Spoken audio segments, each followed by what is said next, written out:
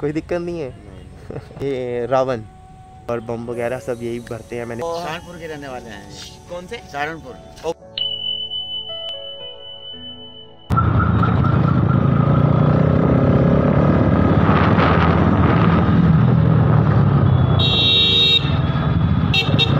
What is up guys?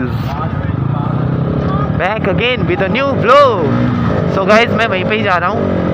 And win plus हो रहा होगा यार, उसके लिए माफ़ी चाहता हूँ। और सीन कुछ ऐसा है यार, मेरे मिरर्स ब्लैक हैं। और आई गेस मुझे वाइट करवाने पड़ेंगे यार, तब आज या कल मैं करवा लूँगा। ताकि मैं रात को भी व्लॉग कर सकूँ और मुझे कोई दिक्कत ना हो। एंड गाइज़ यार, मैं वापस से वहीं पे ही जा रहा हूँ, जहाँ पे हमने स्टार्ट किया था। अपना मतलब जहाँ पे ब्लॉग को एंड किया था, वहीं पे स्टार्ट करने के लिए जा रहा हूँ। अरे अरे अरे अरे अरे। सोच गाइस यहाँ पे पब्लिसिटी बैठी है रावण को देखने के लिए। आज डे है, तीन और तीन को ही मैं ये वाला ब्लॉग अपडेट करूँगा। और करीब करीब पाँच तारीख को, करीब क्या गाइस ये पाँच तारीख को दुशहरा है यार, ये पुग जाएगा। और गाइस अगर मैं यहाँ पर आऊँ तो पेंटिंग वेंटिंग हो चुकी है। तो भैया, हाथ में इतना सब होने के बाद भी आपने ये बना दिया यार? कोई दिक्कत नहीं है। आप बहुत बढ़िया बना। ये बात सही है आपकी। कारीगरी इसी चीज़ को ही कहते हैं। तो ये मेघनाथ होगा? मेघनाथ। कुंभकर्ण है। तो गाइज़ ये हमारा कुंभकर्ण है। एक्चुअली अभी लाइट पे आ रहा होगा। और ये है रावण। तो गाइज़ ये मैंने इसलिए बताया क्योंकि इसके दस सिर है। ये देखो डंडा देख रहे हो ना आप? तो यहाँ पे भी सिर लगेंगे इसके। ऑल राइट तो फिर रेडी फूकने के लिए, है ना? अभी तो चीज़ें पड़ी होंगी ना और? तो कल तक रेडी कर दोगे ना? कल तक फाइनल और फिर परसों को असेंबल कर दोगे आप. अच्छा पहले यहाँ पे रामलीला होती थी, अब नहीं होती? हाँ उधर होती थी रामलीला पहले. तो गाइज़ ये देख सकते हो आप, यहाँ पे मुकुट लगा हुआ है. और जैसे कि मैंने पहले आपको बताया था, वो बना नहीं था. तो अब ये भी बन चुका है. एंड uh, मैं दिखाऊँगा आपको असेंबल होने के बाद कितना तगड़ा लगता है सब कुछ। और यहाँ पे है हमारे रावण। और अगर मैं यहाँ की तरफ़ को आऊँ तो यहाँ पे पड़े हुए हैं पार्ट्स जो असेंबल करेंगे भैया। और जैसे ही मैं यहाँ पे आया भैया ने हाथ मार के हिला दिया कि पता लग गया भाई आ गया। एनी हो गाइज़ ये देख सकते हो आप यहाँ पे पार्ट्स पड़े हुए हैं और 60 फुट का 50 फुट का और 55 फुट का रावण बनेगा। और ये असेंबल होगा। असेंबल होने के बाद टोटल मैं आपको दिखाऊँगा क्या चीज़ें हैं।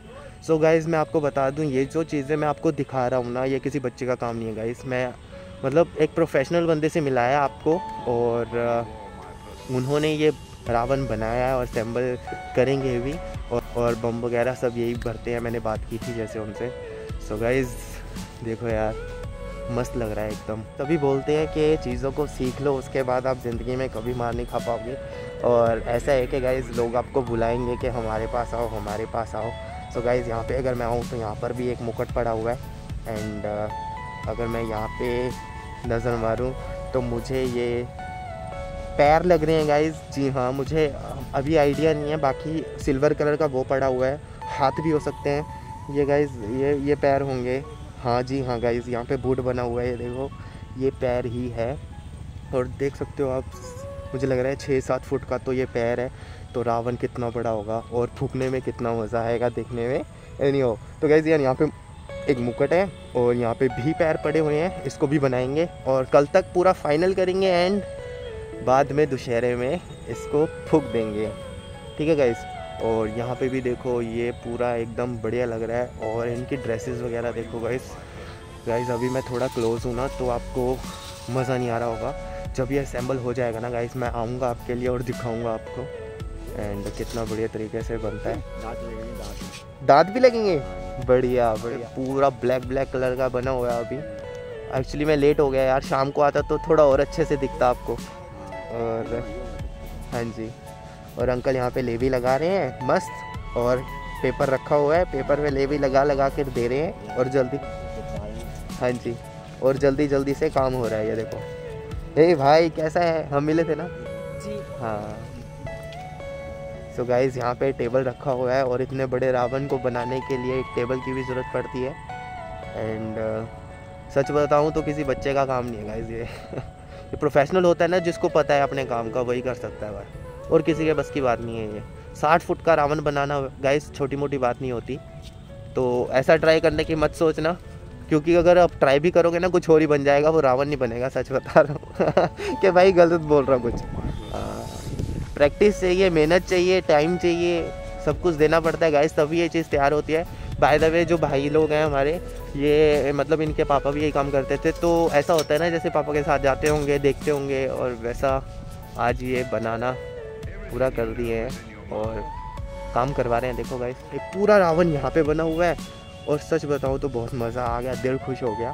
एंड मैं सोच रहा था मैं कल को ब्लॉग करूँगा गाइस पर मैंने सोचा क्यों ना आज छोटा सा ब्लॉग बनाया जाए आप लोगों के लिए।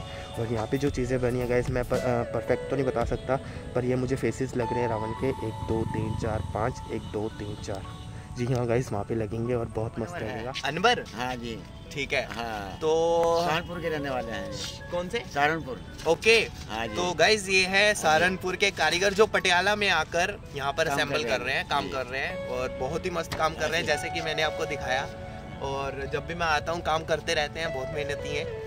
सो दुआ करना है इनकी लंबी उम्र के लिए। दुआ करो हमारे लिए और हाँ, और इनकी प्यारी स्माइल के लिए चैनल को अगर सब्सक्राइब कर दोगे तो गाइज़ बहुत बढ़िया हो जाएगा। है। ठीक है ठीक है। एक बार पब्लिक को बोल दो एक बार चैनल को लाइक कर दे। ठीक है। पब्लिक को कह देना हमारा चैनल लाइक कर देना हाँ, और सब्सक्राइब कर दो। सब्सक्राइब कर दो। ठीक है गाइज़ ब्लॉग को मैं आगे कंटिन्यू करूँगा गाइज़ और मिलता हूँ आपसे अगले ब्लॉग में। एंड तब तक के लिए अपना ख्याल रखें। Bye guys.